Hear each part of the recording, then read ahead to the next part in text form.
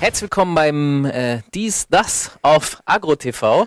Ja, ja, man kann sich doch mal fast versprechen. Mein Name ist äh, Falk Schach. Bei mir sitzt mein Gast heute, Markus Steiger. Schön, dich da zu haben.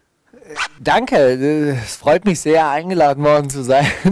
in, in weißt du, Freunde des Hauses, ja, Freunde des Hauses lade ich immer sehr gerne in meine Sendung ein. Äh, das, das hat, freut mich. Ich bin, ich bin auch äh, wirklich ein bisschen aufgeregt, ehrlich gesagt. Ist das wahr? Ja, wirklich. Ganz ernst. Weil du, ja, weil du immer so harte Interviews machst. Ja, absolut. Ich bin ja der äh, wahrscheinlich als bekannt als kritischster Interviewer in Deutschland, auch konfrontativste Interviewer. Ja. Äh, du, du ich bin nicht so soft wie du. Du stellst immer so gemeine Fragen. Ja, es kann ja nicht jeder so weich sein wie du, weißt du? Diese Psychomasche, das läuft ja nicht bei den Rappern, deswegen haben die auch keine Lust. Ich, ich äh, versuche ja immer verbindlich zu sein. Einfach nett. Ja, genau. Nett. Äh, da sind wir schon beim Thema. Du hast ein Buch geschrieben, Hoffnung ist ein Hundesohn. Die heißt, Hoffnung ist ein Hundesohn. Ja, das die habe ich jetzt mal unterlassen, aber okay. Ähm, ich bin ja pingelig. Er ist ja auch dein Buch, du darfst es ja auch sein. Es ist ein Roman, den du geschrieben hast und ich würde zuerst gerne mit dir über ein paar ja, Dinge aus dem Buch, ein paar Geschichten aus dem Buch sprechen und deine Meinung dazu abklopfen.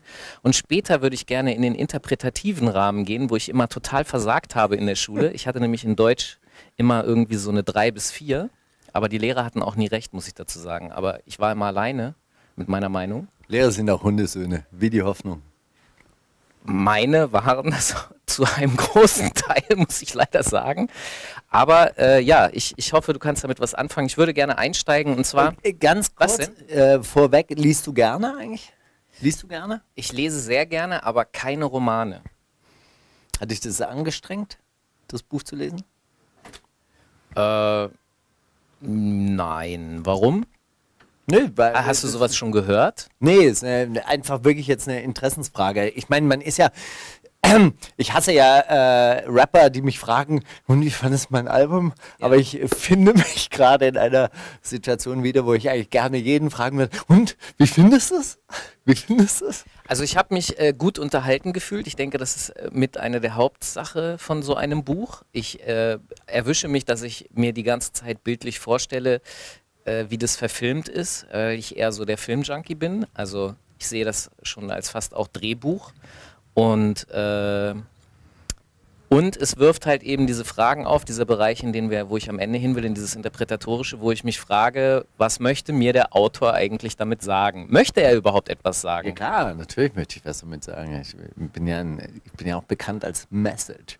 Nee, Message war ja ein Rapper im äh, Royal Bunker bei der Freestyle-Bühne und der hat ja immer Message gedroppt und deshalb hieß er am Schluss Message, obwohl ich diesen Namen eigentlich immer ganz geil fand und eigentlich gerne gehabt hätte. Aber Message war halt Message. Äh, ohne diesem Herrn entgegenzutreten, im Gegensatz zu ihm weiß man ja, wer du bist. Du könntest den Namen einfach rippen und das wird keiner merken. Das mache ich nicht. Das finde ich nett von dir. Das ist, sowas ist, verstehst du, das ist echter Hip-Hop. Das ist Fairness. Weil es gibt viele Rapper, die sich irgendwelche Namen geben, die eigentlich schon existieren. Du, es gibt ja auch Rapper, die nehmen irgendwelche Reime, die schon existieren und oh. kommen damit durch. Ja, bei uns nicht. So, pass mal auf, wir steigen jetzt mal ein in deinen Roman, äh, bevor du mich nochmal unterbrichst. Und zwar, äh, es spielt in einem alternativen Deutschland. Es spielt gar nicht in unserem heutigen Deutschland, sondern in einer, in einer Parallelwelt. Kannst du die mal kurz skizzieren?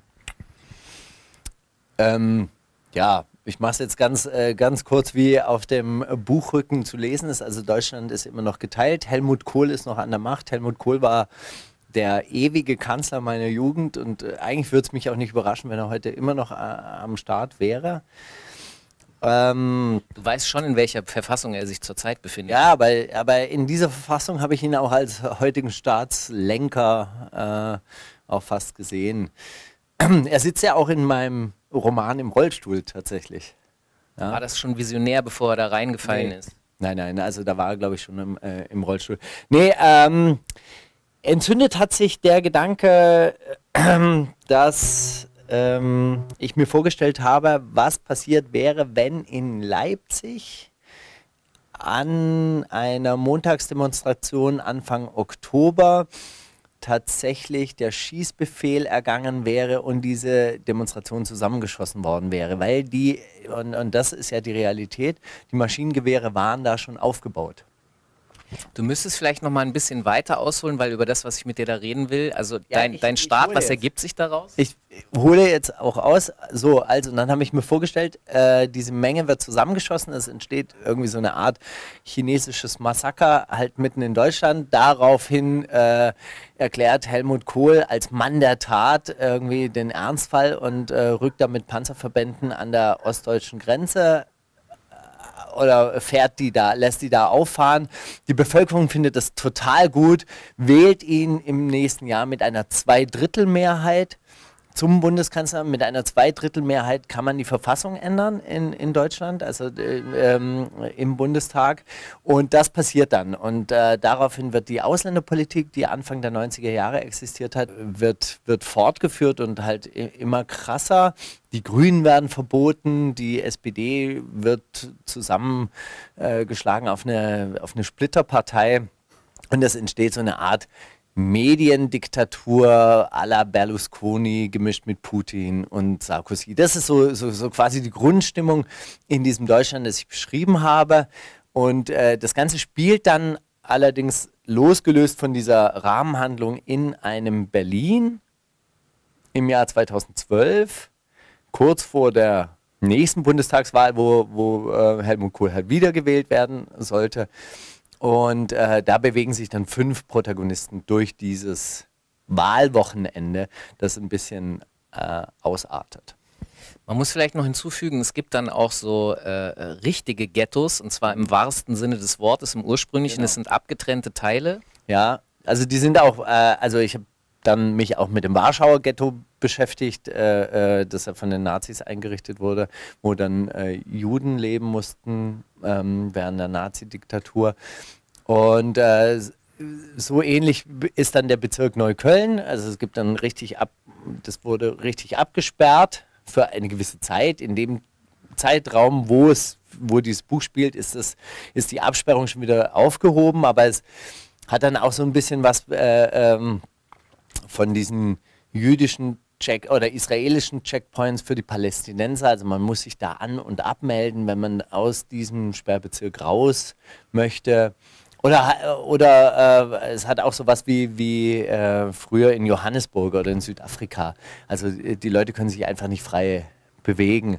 Und die Migranten müssen auch spezielle Ausweiskarten tragen, was dann auch wiederum der Realität entspricht. Das ist zum Beispiel in äh, Österreich und der Schweiz so. Da müssen Asylanten sich mit speziellen Ausweisen ausweisen. Also es ist alles übertrieben in diesem Buch. Es ist alles sehr, sehr zugespitzt. Aber es hat auch oft äh, reale Grundlagen. Also ich habe diese Sachen ja auch gefunden in der echten Welt und das dann halt alles hierher in diese Stadt übertragen. Das ist halt auch so ein Punkt, der mir aufgefallen ist. Ich habe mich die ganze Zeit gefragt, weil es hat mich eben erinnert an Russland, an Putin, diese Pseudodemokratie, wo du mhm. zwar zur Wahl gerufen wirst, aber eigentlich nichts verändern kannst. Äh, äh, Berlusconi war, war ja ähnlich und das ist, also das ist direkt dann in Europa, gar nicht so weit weg von uns. Ja. Ähm, glaubst du, dass das, was du im Buch beschreibst, möglich wäre in Deutschland? Ist sowas möglich, dass wir da mal hinkommen? Ähm, ja, ja. Also, ähm, ja. das halte ich. Ist ja, ist ja auch eine Antwort. Also, nein, nein, ich habe hab zwar, hab zwar eine offene Frage gestellt, aber ich meine, die AfD ist da, ja. Äh, äh ja sie ist eine recht, vielleicht rechtspopulistische Partei. Es könnte ja sein, und wenn die ordentlich Mehrheiten bekommen, ja, dann glaube ich, dass äh, zum Beispiel so eine Partei wie die CDU sich da auch durchaus unter Druck setzen lässt und, und selber nationalistischere Töne anschlagen. Bei der können. CSU sehen wir das ja schon, gerade jetzt im Vorfeld der Europawahl, was Seehofer da ablässt, ist ja teilweise äh, nicht nur grenzwertig, das ist weit darüber hinaus schon. Ja, das ist ja auch die Aufgabe der CSU, dass äh, rechts von ihr ja keine andere Partei existieren soll und äh, diese Aufgabe nimmt sie sehr gewissenhaft wahr. Und ähm, in, in Krisenzeiten haben äh, so Werte wie Nationalismus halt wieder Konjunktur. Also man sieht es in, ähm, in Griechenland. Da sind die Faschisten auf dem Vormarsch. In Italien sind sie ja nie weg gewesen. Und ähm, klar, sowas kann immer wieder äh, vorkommen. Also ich glaube, dass halt, äh, dass er gerade in Krisenzeiten so etwas wie nationale Werte und ähm, die sogenannte verkürzte Kapitalismuskritik, dass man irgendwelche Bevölkerungsgruppen dafür verantwortlich macht, äh, dass es einem schlecht geht, dass äh, sowas äh, ganz schnell entflammbar ist. In deinem Buch gibt es einen Innenminister, er heißt Ronald Kotsch. äh, genau, ja, so heißt er nämlich. Ja, äh, der ist vollkommen frei erfunden. Genau, zufällige Anspielungen sind wie gesagt, zufällig. Und er hat einen Verfassungsschutz aufgebaut, der eine Art Staat im Staat ist, der am Ende dieses Buches sogar versucht, einen Putsch zu organisieren. Zumindest, ich will nicht zu viel verraten, aber äh, es wird daran gearbeitet, einen Putsch zu machen. Glaubst du, gerade vor dem Hintergrund dass, äh, dessen, was wir über den Verfassungsschutz im Rahmen der NSU-Affäre erfahren haben, dass es diesen Staat im Staat tatsächlich gibt und dass die irgendwie vielleicht auch versuchen, eigene Dinge zu organisieren? Also das Krasse an diesem Buch jetzt wiederum und äh, angesprochen auf NSU, es gibt ja eine Person, die äh, äh, zufallsgeneratormäßig Leute umbringt. Also äh, eine Person, äh, äh, ein Protagonist in diesem Buch, der ist ein rechtsradikaler Postler, der Herr Jedele, so spricht man den übrigens aus, der Herr Jedele, der bringt einen Migranten um. Und vielleicht hat er das sogar schon vorher getan. Das, das Krasse war, das habe ich tatsächlich schon vorher geschrieben, bevor der NSU aufgedeckt war. Ja? Der Verfassungsschutz weiß das aber, dass er das getan hat, der, weil der denn die ganze, äh, die ganze Zeit über auch auf der Karte äh, hatte und, und beobachtet hat. Ähm, der Geheimdienstkomplex ist tatsächlich ähm, ein, ein äh, Komplex in allen Staaten. Ich glaube, dass Geheimdienste teilweise wirklich ein Eigenleben entwickeln. Um, dass die, jetzt sage ich mal, wenn ich gutmeinend bin ähm, mit den Politikern, dann ähm, ist das sicher gut gemeint und auch wirklich verfassungskonform eingesetzt. Ändert aber nichts daran, dass es dort Leute gibt, die aufgrund ihrer Gesinnung oder aufgrund dessen, dass sie selber meinen, irgendwas gut, besonders gut machen zu wollen, äh, dass sie dann durchdrehen und einfach komplett eigenständig handeln und das auch können. Inwieweit begibst du dich in solche Verschwörungsbereiche gerne hinein oder glaubst du sie sogar? Ich äh, begebe mich überhaupt nicht gerne in Verschwörungsbereiche hinein. Ich halte mich aber gerne an, an die Fakten, die offensichtlich sind. Und da gibt es einfach äh, genug zu tun. Also gerade wenn man NSU ähm, sich also viel Seltsames, was, was man so sieht, einfach, wo man denkt, wie kann das sein? Ja, also ich meine schon allein der, die NSU-Geschichte reicht aus, um sich mit diesem Komplex wirklich länger beschäftigen zu können, ohne in die Verschwörungstheorie abrutschen zu müssen, sondern da, da gibt es einfach nur die Fragen, die zu stellen sind. Wenn man die einfach stellt, dann hat man genug zu tun. Das andere ist ja zum Beispiel ähm, äh, World Trade Center. Wenn man da die Hallo, wenn man da die Fragen stellt, die, äh, es immer noch gibt. Irgendwie, was ist mit dem dritten Gebäude äh, passiert, das an diesem Tag äh, auch eingestürzt ist. Dann hat man da auch genug zu tun, ohne dass man jetzt irgendwie äh, äh, gleich fragen muss, wer hat es getan, sondern einfach nur diese Fragen auf den Tisch legen muss. Gerade im Rahmen der Edati-Affäre äh, Affäre ist ja, kommen ja jetzt diese NSU-Fragen auch gerade wieder hoch. Äh, ich sehe das wie du, glauben, was dann behauptet wird, was die Gründe sind, fällt mir schwer, da möchte ich auch Beweise, aber die Frage alleine und die Seltsamkeit des ganzen Komplexes, wenn man sich das anguckt, reicht häufig schon aus, um so seine Zweifel zu haben. Ja. Äh, du beschreibst in dem Buch ein Deutschland, in dem, glaube ich, die Mehrheit dieses Landes niemals leben möchte. Das kann man auch indirekt als ein, eine Art Kompliment an das jetzige System verstehen, nach der Devise, uns geht es ja jetzt eigentlich ganz gut, weil es könnte ja auch schlimmer sein. Darf man das so interpretieren oder findest du dieses System, in dem wir jetzt leben, auch kritikwürdig? Es gibt viele Sachen, die äh, in diesem Buch stattfinden, die ähm, an der jetzigen, also zwischen System und Gesellschaft möchte ich nochmal unterscheiden, die an der jetzigen Gesellschaft, die ich an der jetzigen Gesellschaft kritikwürdig finde.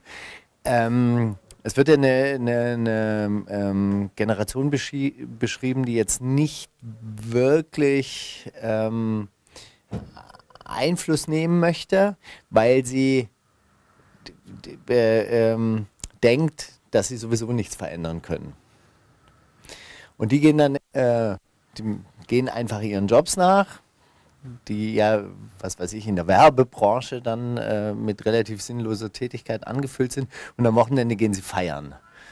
So, es ist eine hedonistische Welt, also was ich ja auch ein bisschen aus Russland übernommen habe. Ja. In deinem Buch jetzt. Ich meine hier auch, aber. Ja, genau. Und das ist halt so, da verschwimmt halt Realität mit, äh, ähm, mit der Fiktion.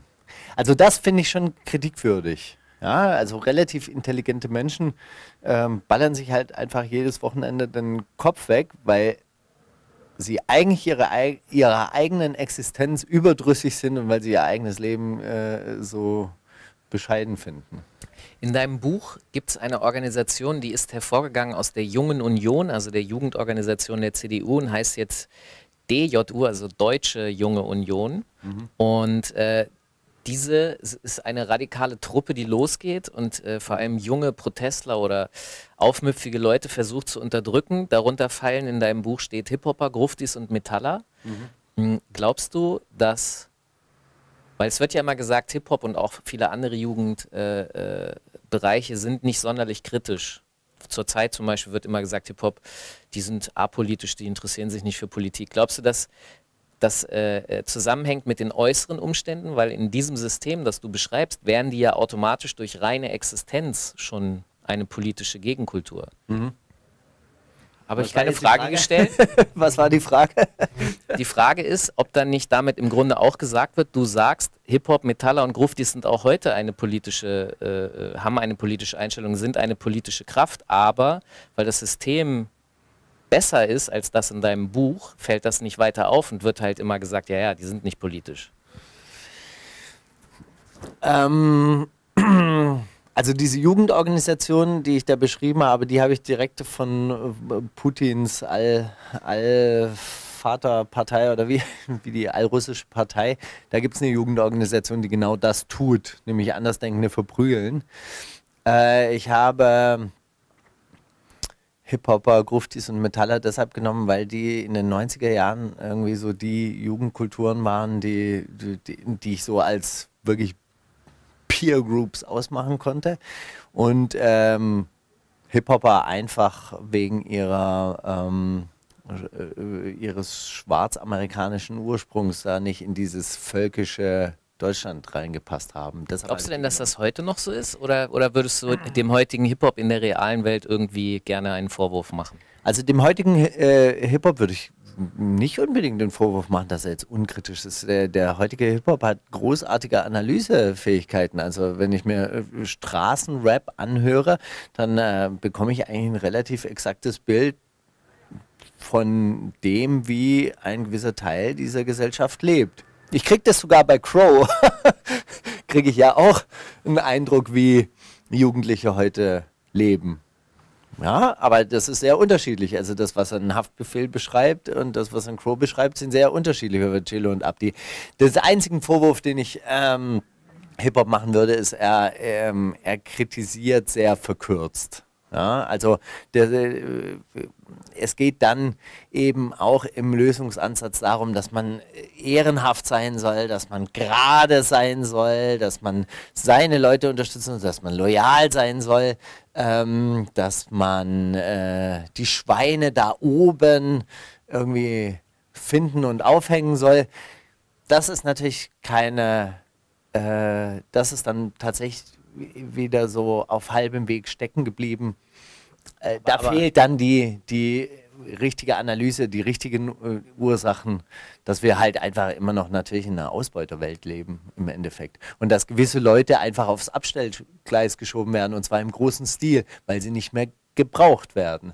Und das ist ein äh, Problem, das erkennen die wenigsten, weil das Heil wird dann wiederum in, äh, im individuellen, in der individuellen ähm, äh, Kraft gesucht, nach dem Motto, du schaffst es. Du schaffst es. Wenn du an dich glaubst, dann schaffst du es. Und das ist das Mantra, was äh, dieses System einem auch immer wieder vorsagt, was halt nicht stimmt insofern, wenn von zehn Leuten es nur einer schafft, dann müsste man mal drüber nachdenken, hm, wenn es neun nicht schaffen, könnte es doch ein strukturelles Problem sein. Ist, sind wir damit bei dem Titel deines Buchs?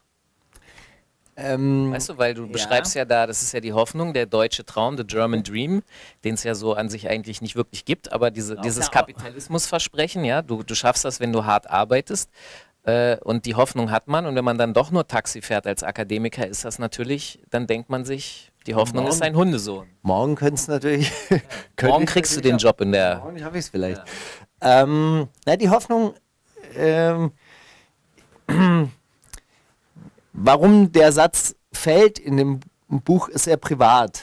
Ja. Äh, Das ist ein sehr priva privater äh, ähm, Gedanke, der da geäußert wird.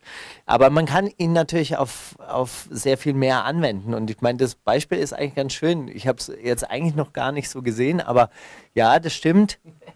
Habe ich doch nicht so schlecht interpretiert. Das ist, äh, Herr, ich weiß Ihren Namen nicht mehr aus meiner Schule. Fuck you. So.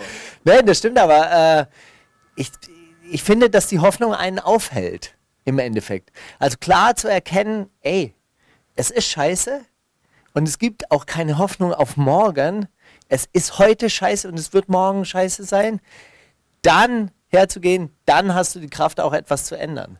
Das ist ja mein Lebensmantra, ne? Ich werde ja immer als Grandler und so. Und ich bin ein Worst-Case-Scenario-Thinker und die Leute kommen immer so schlecht darauf klar. Aber ist doch scheiße. So, und morgen wird wahrscheinlich mit allerhöchster Wahrscheinlichkeit auch scheiße sein. Und jetzt kann man Also wenn gucken, man wie wir es besser machen. Wenn man nichts ändert, wird es morgen scheiße zu sein. Nur weil es heute scheiße ist und dann zu hoffen, dass es morgen aus irgendeinem metaphysischen Grund, weil ein musst Gott schon was machen. weil ein Gott aus einer Kiste springt und äh, äh, dir dann eine andere Welt bietet, dann das besser werden soll. Aber das wo, wo ist dann der Unterschied? Weil im Kapitalismus geht es ja darum, du musst ja was tun. Ne? Das ist ja Arbeit, das ist der Stärkere setzt sich durch und der Schwächere bleibt hängen. Das ist ja Kapitalismus. Das ist ja im Grunde Darwin auf Wirtschaft umgesetzt. auch, ja. Ja, auch. Aber, aber wo ist dann der Unterschied zu dem, was wir gerade gesagt haben? Man muss schon was tun, damit es morgen besser wird. Ja, du musst äh, die richtige Ursache finden, du musst die richtige Frage stellen. Was ist denn die richtige Frage? Weil, warum leben wir immer noch in einer Welt, in der äh, die Hälfte von meinem Lohn von jemand anderem weggenommen wird, nur weil er mich da arbeiten lässt? Geil, jetzt sind wir bei der FDP. Nein. Doch, die wollen Steuern sparen. Nein. Die, die Hälfte von meinem Lohn wird von meinem Boss weggenommen. Der verdient an mir, nur weil er mir seine, seine Ach, diese Hälfte meinst du? ja, diese Hälfte. Aber das ist ja die entscheidende Frage. Das ist die entscheidende Frage. Warum, wenn ich an einer Maschine stehe und dieses Produkt hier herstelle, warum nimmt mir das äh, die Hälfte äh, oder, oder vielleicht sogar noch zwei Drittel wird mir weg, weggenommen von demjenigen, der mir diese Maschine hinstellt, nur damit ich für ihn arbeite? Tut Aber wie, wie willst du es sonst aufteilen? Also erstens müssen wir uns mal darüber äh, ähm, klar werden, dass wir in dieser Gesellschaft Dinge produzieren, die kein Mensch braucht. Weil sonst würde es diese ganze Werbeindustrie nicht geben, wo man sich die ganze Zeit darüber Gedanken macht, oh Gott, ey, wir haben so viel von der Scheiße, wie werden wir diese Scheiße jetzt auch noch los? Ja? Auf der anderen Seite gibt es aber sehr, sehr viele Dinge, die nicht produziert werden, die gebraucht werden, aber kann, man kann sie, äh, oder es gibt niemanden, der sie bezahlen kann. Gebraucht werden sie. Du hast mir mal von Medizin zum Beispiel für Afrika erzählt, äh, AIDS-Medizin und so weiter. Auch äh, ganz andere lebensnotwendige äh, Medizin wird nicht an Menschen verteilt, die sie brauchen, sondern nur an die abgegeben, die sie bezahlen können. Und wenn in Afrika Hunderttausende da sterben an heilbaren Krankheiten, an, an, einfach nur weil Penicillin fehlt, dann werden sie nicht geheilt, weil sie diese Arzneimittel nicht kaufen können. Das heißt, du plod- pl- plodier, implodierst, du plädierst wofür? Ich bin dafür, dass man äh, äh, dieses Wirtschaftssystem so umstellt, dass man wirklich nur Dinge produziert, die man braucht. Dann bräuchten wir alle sehr, sehr viel weniger arbeiten. Dann, also zumindest bräuchten wir alle sehr viel weniger sinnlose Tätigkeit machen. Wir können ja, wir haben Aber wo, äh, ich, ich, ich, ich bin ja ich, zu tun. Ich bin der Advokat des Teufels. Wer entscheidet denn am Ende, was sinnvoll ist und was nicht? Okay, da, das ist natürlich das alte Argument, ja, es ist dann das Politbüro, die dann so Planwirtschaft machen. Gut, wir haben moderne Kommunikationsmittel, sehr moderne Kommunikationsmittel.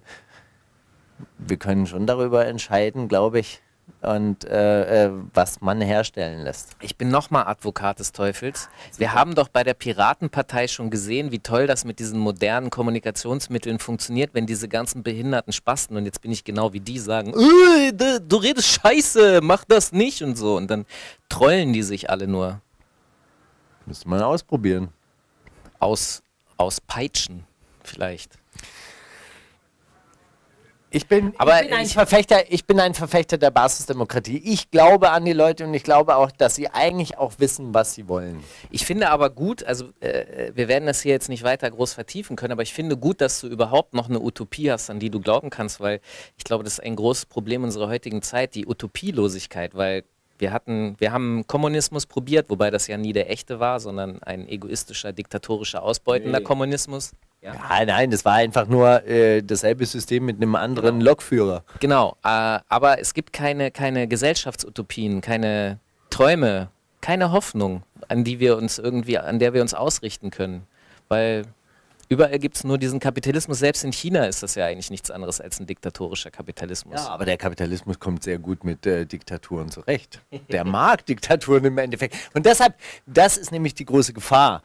Ähm, nur weil wir jetzt in einer freiheitlichen Grundordnung leben und dieser Kapitalismus bislang mit dieser freiheitlichen Grundordnung gut funktioniert hat, heißt nicht, dass die freiheitliche Grundordnung äh, bestehen bleibt. Wenn nö, nö, es gibt ein schlecht geht, dann mag ja. er auch gerne, dass die Leute äh, äh, noch ein bisschen mehr unterdrückt werden. Es gibt einige, eine Reihe von Wirtschaftswissenschaftlern, die sagen, äh, die Demokratie hier im Westen ist tatsächlich ein Problem, und zwar für die Wirtschaft, mhm. weil in China, da kann man sehen, dass es viel besser läuft, wenn man das anders entscheidet. Und man sollte überlegen, hier dasselbe einzuführen, weil wir, wir Menschen hier, wir stören die Politiker beim Regieren und wir stören die Firmen, wenn wir nicht wollen, dass Stromleitungen über dem Haus hängen. Mal richtig durchregieren, das wäre schon schön, also einfach mal so ohne, ohne Schranken.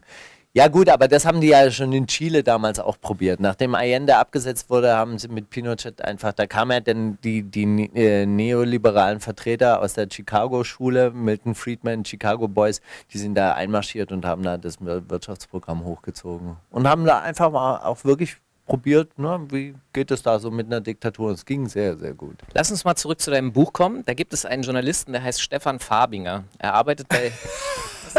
Stimmt. Oh, jetzt fällt mir. Äh ja, jetzt fällt es dir ein, dass ja. das zufällig einer der Mitbegründer der Backspin ist und dass das der Cousin von Torch ist und dass auf AgroTV, glaube ich, vor nee. vier Wochen eine Folge von Freestyle online ging, wo der auch sitzt und ein Interview Nein. gibt. Doch, doch, das wusstest du gerade gar nicht? Nee, das wusste ich. Was hast du, warum hast du dann gelacht? Weil ich jetzt an Stefan Faber dachte. Nee, Stefan Farbinger. Stefan Farbinger ist eine real existierende Figur. Oh Gott. Wusstest ja. du gar nicht. Ist schon im Druck, das Buch, ne?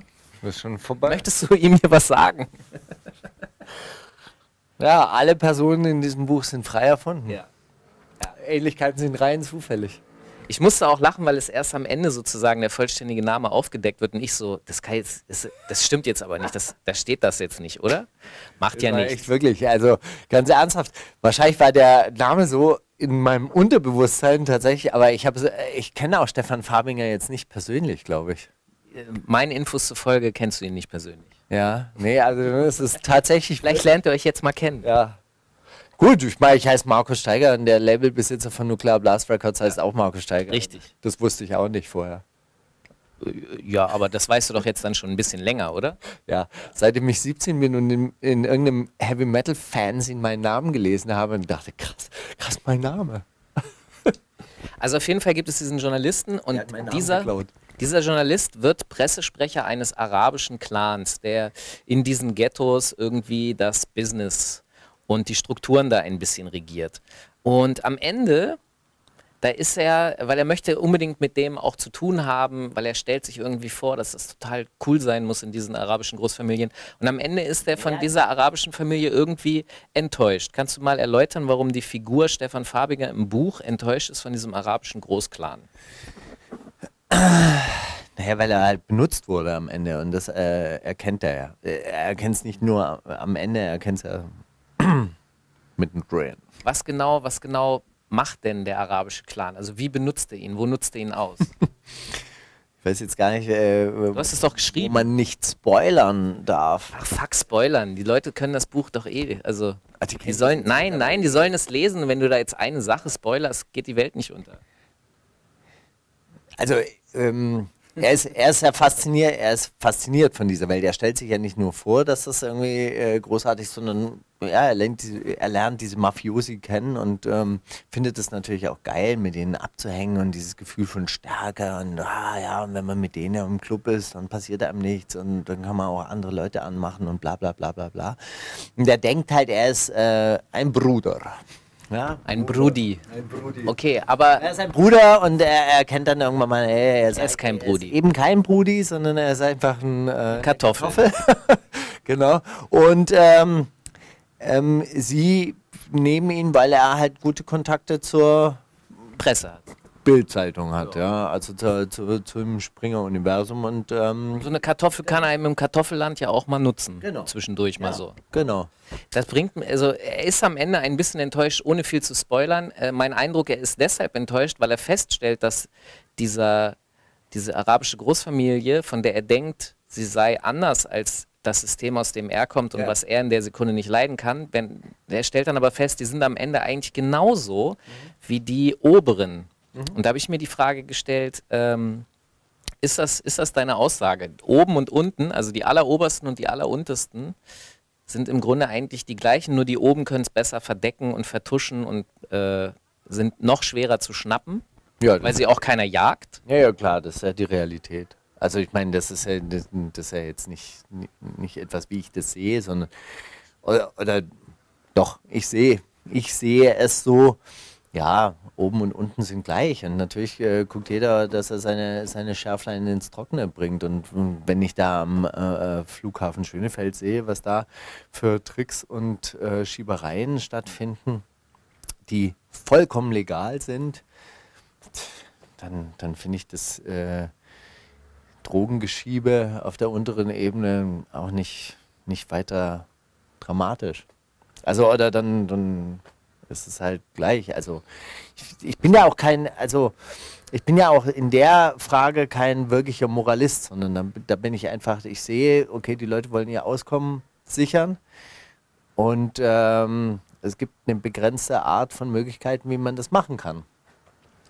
Am Ende sind es in einem Golfclub Club es üblich ist, dass man dort Steuern hinterzieht, dann wird man in dieses System wahrscheinlich genauso hineingezogen, wie wenn in einem Viertel äh, Drogen vertickt werden und man damit was machen kann. Schnapp machen kann, wie man sagt. Würdest du das verkürzen auf die Formel, das sind im Grunde alles irgendwie Geschäftsleute in Anführungsstrichen, die machen halt ihr Business, nur das eine ist vor dem Gesetz weniger illegal als weil die das Gesetz nämlich selber machen können, weil die an den Hebeln sitzen, als das, was die anderen machen? Klar, ich meine, als Hugo Chavez in Venezuela an die Macht kam, hat er ähm, Gesetze irgendwann mal erlassen, dass der Handel mit Erdöl ähm, strafbar ist. Er hat die Gesetze geändert. Wenn du hier jetzt ein Gesetz erlassen würdest, dass das Handeln mit Derivaten, mit Finanz, äh, mit hochriskanten Finanz, ähm, äh, Produkten verbieten würde, wäre es illegal. Wenn du gleichzeitig ein Gesetz erlassen würdest, das den Handel mit Marihuana erlaubt, dann wäre das wiederum legal. Also die Gesetze sind ja nicht ewig. Die hat ja kein Gott vom Himmel geworfen, sondern die machen Menschen. Selbst die Gesetze, die sind doch auch vom Menschen. Selbst die Gesetze von Gott. Ja, ja, Moses hat das doch selber da oben aufgeschrieben auf die Steintafeln. Aber eine theologische Diskussion lasse mich jetzt nicht ein. Sehr gut.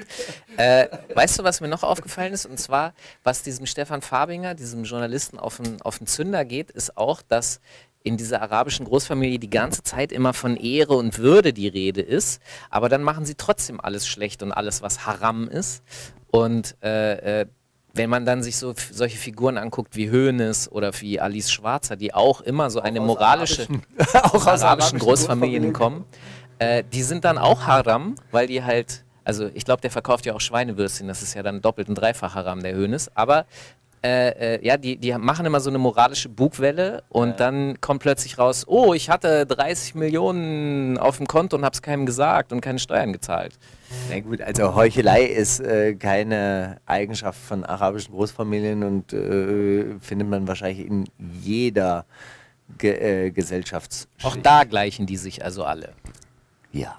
Die Bösen, die Bösen. Das sind keine Bösen. Ja, was sind die dann? Diese Menschen in ähm, meinem Buch sind Verlorene. Sie sind keine Bösen. Keiner ist wirklich böse. Selbst Kotsch ja. ist äh, jemand, der an die Sache glaubt. Der macht das, weil er daran glaubt. Aber macht es das besser? Also nur weil jemand äh, einen falschen Glauben hat, und da sind wir wieder in der theologischen äh, Ecke leider, macht es ja nicht richtiger. Nee, es macht es nicht richtiger, aber es ist einfach, äh, man muss die Grunddisposition des Menschen, also die, die, die Grundvoraussetzung des Menschen irgendwie äh, sehen. Und ich glaube nicht daran, dass es wirklich explizit böse Menschen gibt, die sich ausdenken, hm, heute mache ich jetzt mal was richtig gemacht. Können wir uns darauf einigen? Ich, ich, ich, ich finde, ich könnte dir da zustimmen, aber können wir uns darauf einigen, dass das dann, kann man es Doofheit nennen?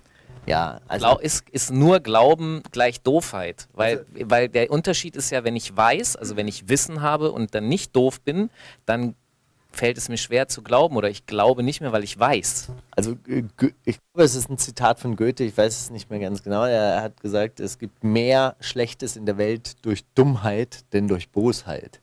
Und ich glaube, das ist, das ist äh, tatsächlich so. Es ist natürlich auch so, dass der Mensch nach seinem Vorteil strebt ja, und dadurch auch viel Böses entsteht. Und vielleicht gibt es auch wirklich ganz äh, äh, satanistische Leute, denen einfach dann, die, die dann einfach auch wirklich ganz kalt sagen können, hey, wenn da jetzt 100.000 draufgehen, ist mir scheißegal, wir gehen da jetzt rein, wir erobern dieses Land und wir äh, denken jetzt nur noch an den Profit und an unser äh, Was wäre denn ein Alternativansatz, da reinzugehen und den Tod von Hunderttausenden in Kauf zu nehmen? außer Bosheit. Ich glaube sogar, diese Menschen denken einfach pragmatisch. Auch, der, auch also jetzt, jetzt zum Beispiel irgendwie so ein George W. Bush, ja. der denkt wahrscheinlich gar nicht, sondern seine Berater. Dann machen wir doch Putin und die Krim gerade. Ja, der, der, der, hat doch, äh, der hat doch ein strategisches Interesse. Alter, das ist ein Schwarzmeerhafen. Das, ja, aber, aber guck mal, es ist jetzt noch keiner umgekommen. Es ist noch keiner umgekommen, aber wenn es da einen Bürgerkrieg gibt, kann ja passieren ja. und da sterben welche, dann scheißt der da doch drauf. Na klar, das, für den ist es doch ein, äh, ist es, da, da, da, geht es ja um die Sache, das geht ihm um Russland. Ja, und das, er hat ein höheres Ziel, aber genau, ist das boshaft oder ist das... Nein, nee, das Nein. ist, halt, also meine Meinung, also abgesehen davon, dass, dass äh, Putin was sehr Kaltes hat und ich glaube, ja. dass der in irgendwelchen KGB-Kellern auch mal Hand angelegt hat. Ähm, so, ich dachte bei ihm. Nee, aber okay, ja. Du meinst, er hat schon mal zugeschlagen und noch mehr? Also das ist, äh, das ist so ein Typ, der, also den finde ich schon echt sehr äh, entfremdet vom menschlichen Wesen. Aber ja, also ich glaube, ähm, dass es eine Form von ähm, Bosheit insofern gibt, dass man das Menschliche in sich immer weiter zurückdrängt, weil man ein höheres Ziel, eine große Sache verfolgt. Ja? Das kann so, ne, es gibt, wie soll ich es erklären? Es gibt ja den Unterschied zwischen äh, äh, kalter Wut und Berechnung und äh, Handeln im Affekt. Ja? Es gibt Leute, die, die rasten aus, dann bringen sie irgendwelche Leute um. Und dann gibt es aber den anderen Fall, da wird deine Organisation angegriffen, sei es jetzt eine Rockergruppe, sei es die arabische Großfamilie, sei es jetzt ein Land. Und dann sagt man, okay, wir müssen zurückschlagen. Das ist kalte strategische Wut und dann, ähm, dann zählt auch der Einzelne nicht, sondern das wird halt einfach dann zu einer anonymen Masse. Okay, hier Russen, da Ukrainer. Na gut, okay, dann gehen halt ein paar drauf. Und das ist. Ähm, wir haben ja auch genug Menschen auf diesem Planeten. Acht Milliarden ist das eh ist zu viel. Das ist zum Beispiel auch so eine Einstellung. Ja, so ein bisschen Zynismus. Ja, die mag ich nicht. Das macht nichts. Die mag ich nicht. Also ich würde das. Hauptsache wir lachen drüber. Ja. Gut, Steiger. Gehen wir mal einen weiter. Gehen wir jetzt mal ins Interpretatorische des Buches. Da, wo ich in der Schule immer versagt Deine Sendung, habe. du darfst sagen, was du möchtest. Habe ich ja schon. Ja. Äh, also du darfst auch denken, was du möchtest. Noch leben wir in einem freien Land. Ja. Ja, obwohl mir, obwohl mir ein Typ vom Verfassungsschutz ja mal gesagt hat, ja, denken dürfen sie ja viel, nur sagen dürfen sie nicht viel. Das bringt mich natürlich zur Frage, Die warum, rufen wir auch einfach an. warum sprichst du, wa- was hast du mit denen zu sprechen? Die Was rufen war da einfach an. Ich habe ein Interview geführt, da äh, gab es äh, verfassungsschutzrechtliche Bedenken und rufen die einfach bei dir an. Hallo, Herr Steiger. Hallo, Herr Steiger. Woher hatten die deine Nummer? Steht die, stehst du im Telefonbuch? Die hatten die halt. Oder hat die irgendein Rapper getwittert? Das Ding war, da weiß ich es nicht mehr genau, ob die damals bei mir in der Redaktion, also bei rap.de angerufen haben und ich, ich sie vom Handy aus angerufen habe. Warte mal, also äh, ja, was äh, ein Fehler war, weil das war das eine Gespräch mit dem Verfassungsschutz, dann habe ich gesagt, ja, äh, ich werde nichts sagen, keine Aussage. Du hast keinen 31er gemacht. Nein, natürlich, selbstverständlich nicht. Obwohl der 31er nur fürs, äh, fürs äh, im Strafgesetzbuch für äh, Betäubungsmittel steht übrigens. Ja, das wissen gar nicht viele. Habt ihr wieder was gelernt? BTM-Paragraph übrigens. Also, aber du bist kein ich, Zinker. Nein, ich bin, nein, ich bin kein Singer. Ich habe mich gerade gemacht, ja. vor, vor, diesem, vor diesem Verfassungsschutztypen. Egal. Vier Wochen, oder lass zwei Monate später, ruft mich ein Typ an. Ja, hier ist LKA Berlin, Meier, bla bla bla. Ich rufe an wegen dem und dem. Und wir reden so und ich so, ja, nee, keine Ahnung, weiß nicht, kenne ich nicht, äh, sag ich nichts. Woher haben Sie eigentlich meine Nummer? Ja, äh, pff, ich, Steht hier im Computer in der Akte. Sie haben ja neulich mit so einem Kollegen vom Staatsschutz telefoniert. Da habe ich einfach beim Computer nachgeguckt. Hast du schon eine eigene Akte? Hast du mal nachgefragt? Ja, bestimmt hat man die, aber ist Ich meine, ich meine hier, ne? egal. Äh, Ist wurscht. so, äh, kommen wir jetzt mal zu dem Interpretatorischen und äh, wir gucken jetzt, ob ich mehr drauf habe als vor 20 Jahren oder nicht in der Schule. Und zwar, ich empfinde, das Buch geht sehr, sehr viel um Loyalität. Und vor allem den Verlust von Loyalität und warum wa- überhaupt was Loyalität ist. Ist dir nicht aufgefallen? Guck mal, es geht die ganze Zeit, alle fünf Figuren sind miteinander so verwoben und sie verlieren alle gegenseitig, wollen sie die Loyalität des anderen, aber verlieren sie dann. Also zum Beispiel dein Innenminister Kotsch von dem Kanzler Kohl, die auch noch so eine Vaterbeziehung haben. Dann deine, de, deine weibliche Figur Sabine mit ihrem neuen Freund Christoph, der so ein Revoluzer ist.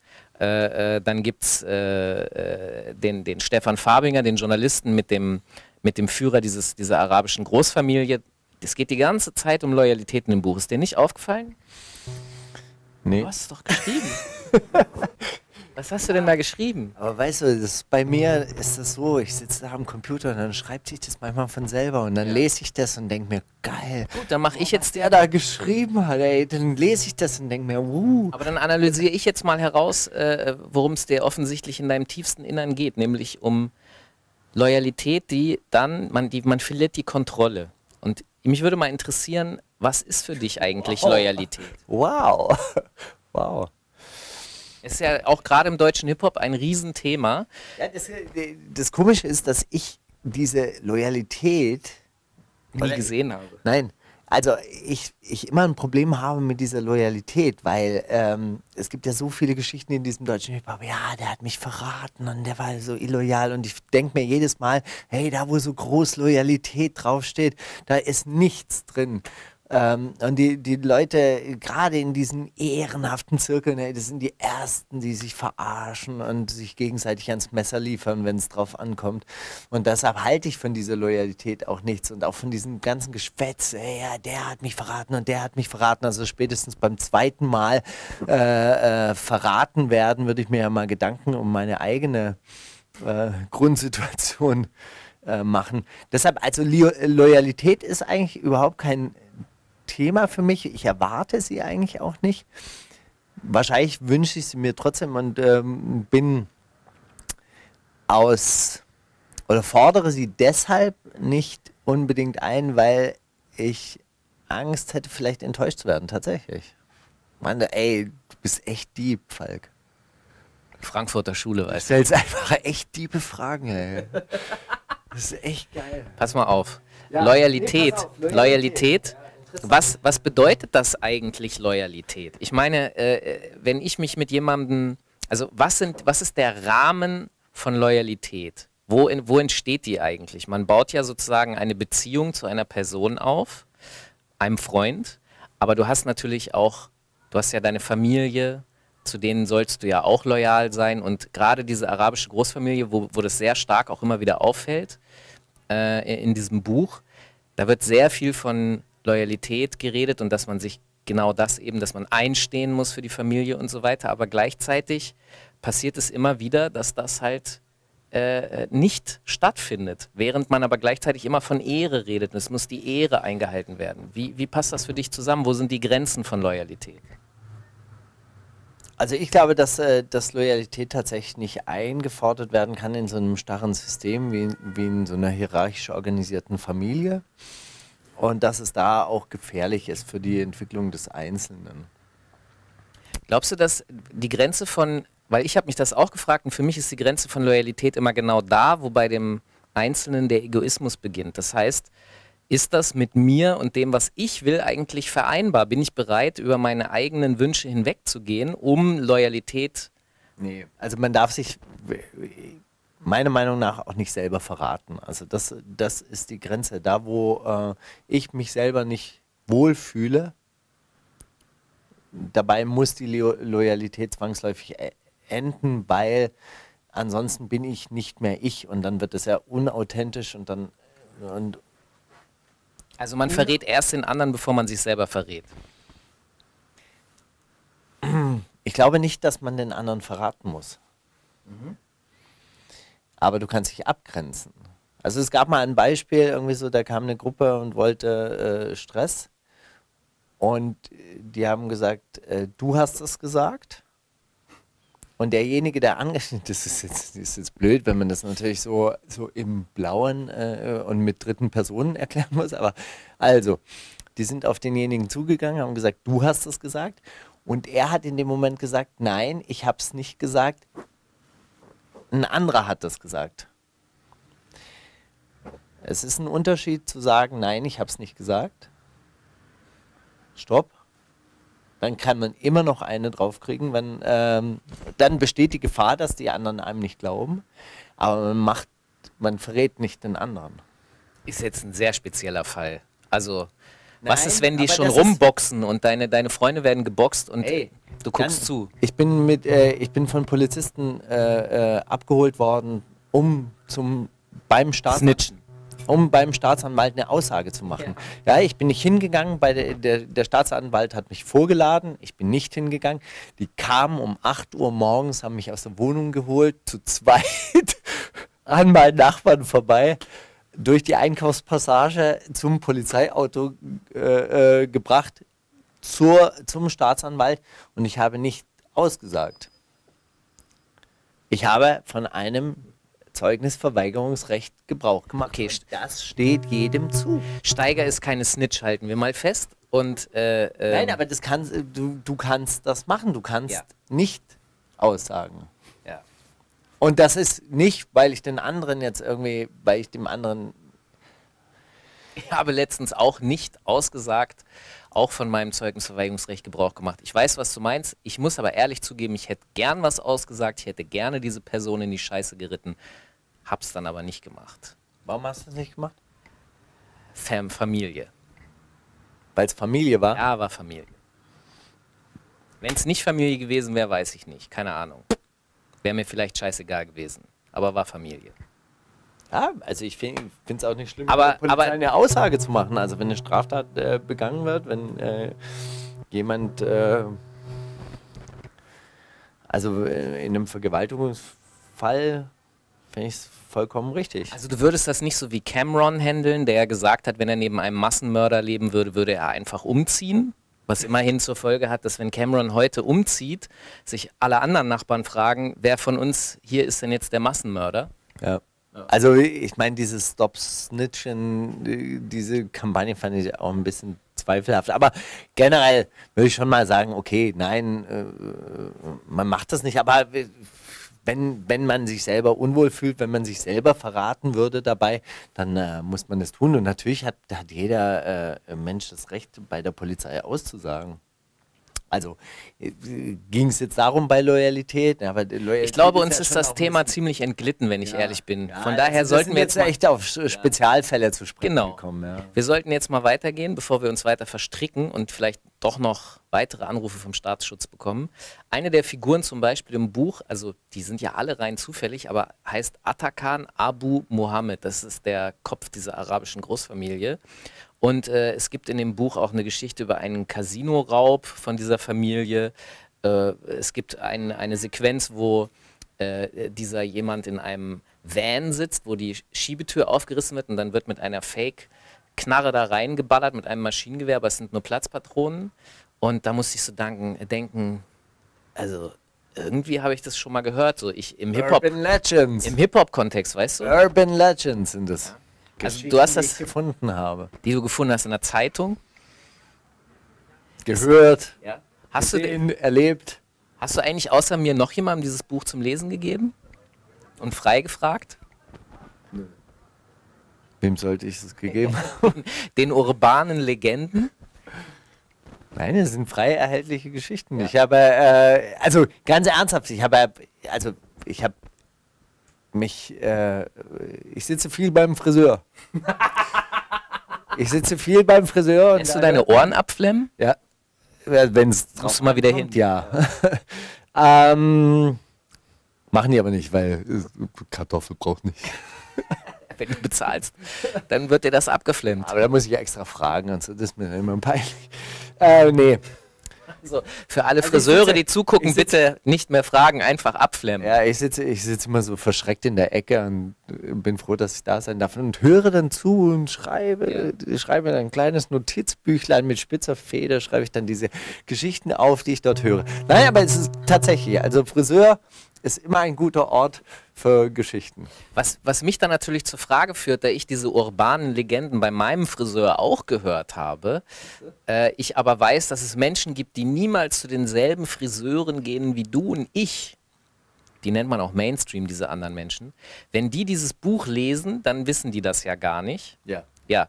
Und dann habe ich mich gefragt, alle anderen Geschichten, die im Buch sind, außer diesen, die wir als urbane Legende kennen, sind die denn auch irgendwann mal passiert? Ja. Das ist also, das basiert alles im Grunde doch auf realen Dingen, die du aber dann wild vermischt hast? Ist es alles faktisch abgesichert, was du da drin hast? Es gibt viele Sachen, zum Beispiel von Ronald Kotsch, ja. Ja, die äh, tatsächlich stimmen. Ich habe gehört, der ist jetzt Baggerfahrer. Ronald Kotsch ist nicht Baggerfahrer. Nee. Ronald Kotsch ist nicht Baggerfahrer, aber äh, es gibt eine Geschichte in diesem Buch, wo er mit seiner Frau Anke am Abiball zu 99 Luftballons tanzt. Ja. Und das ist zum Beispiel eine wahre Geschichte eines Menschen, der mir als Schablone für diesen Ronald Kotsch gedient haben könnte. Ich verstehe. Äh, Steiger, ich würde jetzt gerne noch deeper, noch Frankfurter-mäßig in dich einsteigen. Und zwar, äh, wenn ich mich mit dir beschäftigt habe in der Vergangenheit, dann habe ich immer mal wieder so in Nebensätzen gehört, was so dein familiäres Verhältnis betrifft. Und in diesem Buch geht es auch um so verdeckte Vaterkonflikte, die blitzen da immer mal wieder auf. Und es gibt eine Figur, auch der Stefan Fabinger, der mich irgendwie nicht nur, also er erinnert mich nicht an den Backspin-Gründer, er erinnert mich an eine andere Persönlichkeit, neben der ich rein zufällig gerade sitze. Und diese Person sagt, äh, ich glaube, meine Eltern wissen bis heute nicht, was ich hier in Berlin eigentlich mache. äh, immer wenn ich im Fernsehen oder in der Zeitung bin, dann äh, gehen die zum Nachbarn und sagen, guck mal, unser Sohn und äh, aber im Grunde scheint es so, weil es gibt auch noch andere Sequenzen, da sagt er zum Beispiel, er hätte gerne Achtung, Vertrauen und Dankbarkeit, aber das war immer das, was er sich von seinem Vater gewünscht hat. Äh, wie viel Realität hat das mit dir und deiner Familie zu tun? Na, ähm, also alle Personen haben was mit mir zu tun mhm. in diesem Buch. Und äh, das an dieser Stelle auf jeden Fall, klar. Wie ist denn das Verhältnis mit deinen Eltern? Möchtest du darüber reden? Nein. Habe ich da einen wunden Punkt getroffen? aber es liegt im Buch und in allen Interviews, Ja, die ich in den letzten Jahren mit dir gesehen habe. Ja, aber was, soll- was soll ich dazu sagen? Ich meine, steht ja in diesem Buch. Ja, Okay. klar, natürlich. Wünscht man sich doch von seinem Vater, oder nicht? Habt ihr mal darüber geredet? Ach, Ist nicht, ist nicht möglich? Verstehe. Du kannst es auch rausschneiden lassen. Nein, aber ich meine, was soll da, was, was soll da jetzt? Guck mal, äh, äh, es gibt ja dann auch irgendwann mal Zeitpunkte, wo es einfach zu spät ist. Dann kriegt man Achtung, Liebe und Dankbarkeit, aber dann will man das auch gar nicht mehr haben. Hat, hattest du vor, weißt du, es gibt ja so Momente im Leben, wo man äh, auf sich alleine gestellt ist, weil die andere Partei, mit der man das gerne ausdealen möchte, also entweder kann man mit der nicht reden, weil die dafür nicht fähig ist, oder vielleicht ist sie auch einfach tot und man muss seinen Frieden mit sich selber machen. Das ist dir das gelungen? machen. Ja, ja, musst du sowieso, aber ist dir das gelungen? ja, Oder arbeitest du noch daran? ja, also weiß nicht, es äh, kommen bestimmt noch ein paar Sachen, auf die ich gespannt bin, wie ich dann reagiere. In diesem Interview? Ich glaube nicht. In diesem Interview. Du meinst in deinem haben wir- Leben? In diesem Interview haben wir, glaube ich, gerade die Ja. härteste Stelle umschifft. Soll ich dich kurz mal drücken? Das wäre nett. Alles, alles wird gut, Steiger. Danke, das ist schön. Das ist auch kein Ja, Scherz. das ist wirklich gut, das ist wirklich gut. Dann würde ich dich gerne zum Abschluss noch etwas fragen. Und zwar habe ich ja. Brauchst du ein Taschentuch? Nein. Äh, und zwar, äh, da dankst du einer Julia, die hat dich vor ein paar patriarchalischen Patzern bewahrt. Ja. Was waren das für Patzer, die du aus dem Buch herausgestrichen hast? Und für die, die es nicht wissen, patriarchalisch, also äh, heißt so übervatermäßig, der Patriarch. Äh, So, so meinte ich das nicht, sondern das waren eigentlich, eigentlich eher chauvinistische ähm, Patzer waren das. Und zwar, das Buch ist sehr pornografisch. Da sind ein paar Liebesszenen drin, wo, wo die Figur Stefan Fabinger, ich wollte schon sagen, wo Markus, wo die Figur Stefan Fabinger Dinge in Ja, ja, nee. Körperöffnungen steckt. Nee, pass auf, nein, nicht nur Stefan Fabinger steckt Dinge in Körperöffnungen, äh, Christoph tut es auch, Sabine tut es. Ach, sorry, stimmt, die Christoph, Christoph steckt das. Aber du Also- hast ja gesagt, in jeder Person steckt auch Genau. was von dir. Genau, und deshalb steckt vielleicht auch an, anderes wiederum in anderen Personen. Haha, den Witz durfte man sich jetzt nicht hingehen lassen. Also, ähm, es waren ist sehr pornografisch. Das heißt also, äh, da sind Liebesszenen drin mit Close-Up. Ja? Pink Schatz. Ja, und das ist genau. Und Brown Schatz auch. aber das ist genau der Unterschied. Es ist, äh, äh, ähm, der, der, der Pink Shot ist nämlich aus, auch ausgespart worden in letzter Konsequenz. Und zwar ähm, war das so, oder äh, ich erkläre es andersherum, wenn man eine neue Liebesbeziehung anfängt oder überhaupt eine Liebesbeziehung hat, dann äh, gibt es äh, ein, ein Wort für das Geschlechtsteil der Frau, was die Frau gerne mag. Ja? Also die Frauen benennen, Mumu. Frauen benennen ihre, Ja. ihr Geschlechtsteil Pflaume. unterschiedlich. Möse, Muschi, Fotze. Ähm, Echt, ich kenne keine Frau, die das Wort Fotze mag. So, als Mann hat man die Aufgabe, und das kann man durch Nachspüren und Zuhören tatsächlich rausfinden, welches Wort sie gerne mag. Und Frauen sind da sehr empfindlich, weil wenn sie das eine Wort mögen, mögen sie das andere nicht. Und sie mögen es absolut nicht. Und wenn man das als Autor kann man das nicht tun. Dieses äh, Spüren und Nachhören kann man nicht tun, weil äh, ich müsste auf gut Glück raten und dann habe ich halt 90 Prozent der Frauen verloren, die dieses Wort nicht mögen. So, und deshalb, und äh, die, in einer der ersten Versionen war das eben so, da habe ich ein Wort benutzt und dieses Wort hat, Julia hat gesagt, dieses Wort geht für sie gar nicht klar und deshalb ist es überhaupt nicht, äh, nicht tragbar und auch diese sexuellen Stellen, also äh, kann sie nicht lesen wegen des Wortes und dann habe ich mich entschlossen, dieses Wort komplett Ist also, es das F und das Wort, was man mit F und mit V schreiben darf? Ja, oder ein anderes, was man mit M schreibt. Ähm, auf jeden Fall. Und Klit war dann okay, weil das, das ist mir aufgefallen. ja, das ist, das ist dann so. Das geht noch klar, denke ich mal. Aber auf jeden Fall ist, äh, falls dir das aufgefallen ist, das Wort äh, Fotze kommt auch drin vor, aber es wird dann in anderen Zusammenhängen und anderen äh, Kontexten dann äh, benutzt.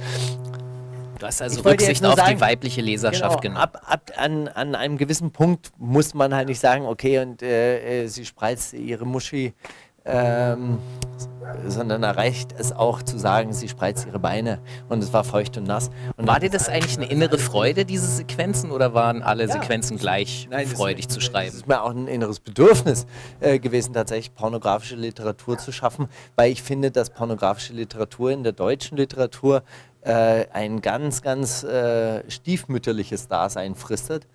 Und das wollte ich ändern. Ja, also es gibt ja hässlichen Sex, äh, Scheißsex, guten Sex, schönen Sex, schönen harten Sex.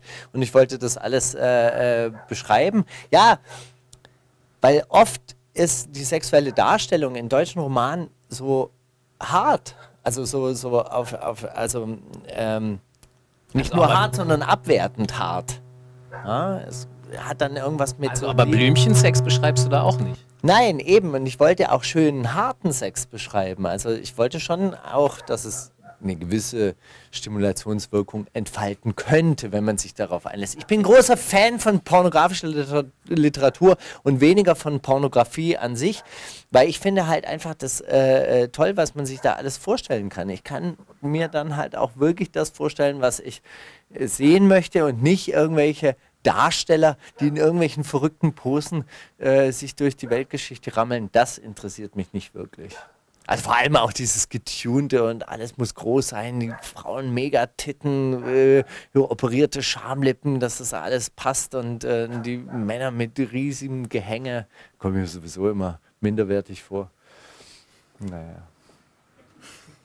So, jetzt haben wir noch mal ganz zum Schluss einen Einblick in Steigers Sexualvorstellungen erhalten. Ich finde, das ist, also auch so, also ist alles in Ordnung. so, so Trends wie dieses Gagging oder so, ey, was Ist aber in deinem Buch auch? Ja, aber in der Vergewaltigungsszene. Ja, Moment mal. Also, die Sabine, du hast es geschrieben, die Sabine findet das doch interessant, dass sie von Christoph. Ja, ja. Stimmt. Ja, ja. Ja. Ist ja auch schön. Hast du das denn wieder vergessen oder was? Ja, manchmal muss ich mein eigenes Buch nochmal durchlesen und denken, boah, was hat der Geiles geschrieben? So Nun gut, für die, die nicht wissen, was Gagging ist, äh, guckt mal bei Wikipedia, da steht das 100 Pro. Äh, ich danke dir für das Interview. ich danke dir, dass ich da sein durfte. Ja, du immer wieder gerne. Also Ruf einfach an. Du bist aber wirklich so ein klapper Typ, weil du hast mich ja richtig äh, mit der Frage nach deinen Eltern, uh, crazy shit. Alles wird gut, Steiger. Äh, wir kriegen das hin. Ja, auf jeden Fall. Natürlich muss man ja hinkriegen. Und wenn nicht, immerhin reden deine Eltern jetzt mit dem Nachbarn darüber. Du, Wille, ihr habt da so ein Video gesehen neulich. Da, da war dein Sohn. Der hat ja über euch geschwätzt. Ja, das könnte sein, ja. Könnte sein. Vielleicht, auch da kann ich eigentlich, ach, das tut mir alles so leid, da kann ich gar nichts weiter zu sagen. Deswegen äh, machen wir jetzt einfach Schluss. Jetzt, ja, aber, aber verstehst du, da ich ja für dich Gefühle hege, ist das ja so, dass mir das ja wirklich, das wünscht man ja keinem. Das ist, also ich wünsche dir, dass es dir immer gut geht. Danke, mir geht's gut. Siehst du, und dann ist doch alles, das ist doch ein Punkt, wo man wunderbar aufhören kann. Man soll aufhören, wenn es am schönsten ist, also genau jetzt. Äh, ich danke dir für das Interview. Das Buch heißt Die Hoffnung ist ein Hundesohn. Ja. Ist äh, erschienen jetzt, es ist Ja, da. Ihr bei könnt Royal es Book kaufen. of Books. Ja, hoffentlich könnt ihr es jetzt auch in der Buchhandlung zu, zum richtigen Preis bestellen. Es ist alles schiefgelaufen, was schieflaufen konnte. Es ist wie bei allen Royal Book of Veröffentlichungen. Never change a winning team. Es hätte eigentlich wieder verschoben werden mit- mit der Pressemitteilung, das Presswerk war schuld. Aber diesmal war es wirklich, der Vertrieb hat das Buch nicht gelistet. Ey, es ist wirklich alles Katastrophe, aber es ist da, äh, es ist erhältlich. Ihr könnt es als E-Book kaufen und eben auch im Buchladen ganz normal als Print-Version. Und es ist alles dabei. Gewalt, Sex, äh, Verbrechen, äh, politische. Äh, es ist eigentlich. Aber dich hat's unterhalten, ja? Ja, hab ich doch gesagt. Das ist geil. Ich wollte es nur noch mal hören. Und ich, der der Romane hasst, ja, ich hasse Romane. Ich kann mit nichts anfangen, ich lese Sachbücher. Ja. Das muss reichen. Geil, schön. Von daher äh, checkt es aus, kauft es und äh, wir sehen uns nicht wieder. äh, nächste Woche, deswegen macht's gut. Ciao. äh, bei Agro TV. Da habe ich ja noch die Kurve gekriegt.